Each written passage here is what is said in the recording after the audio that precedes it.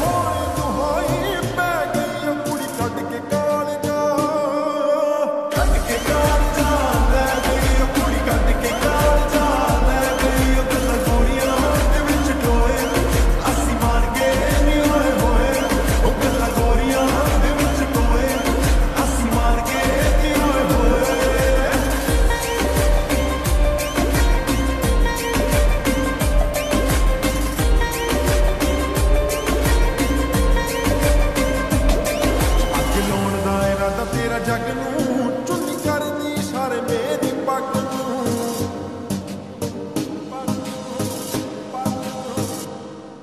ਅੱਗ ਲੋੜਦਾ ਇਰਾਦਾ ਤੇਰਾ ਜੱਗ ਨੂੰ।